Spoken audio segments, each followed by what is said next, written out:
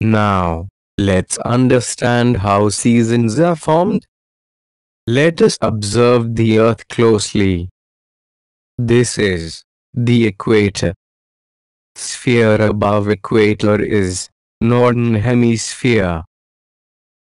Sphere below equator is southern hemisphere. Earth tilts at an angle of about 23.4 degrees while rotating in its orbit.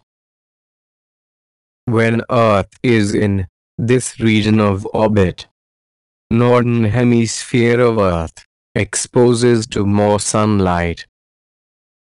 Northern hemisphere will have summer and southern hemisphere will have winter. Now Earth travels along its orbit and reaches this region. Its tilt does not change. Now southern hemisphere exposes to more sunlight.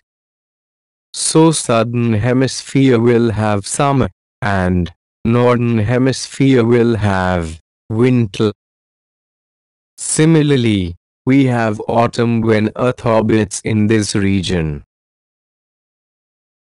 and when Earth orbits in this region, we have spring season. In this way, due to tilt in Earth's axis, various seasons are formed, while Earth orbiting around Sun.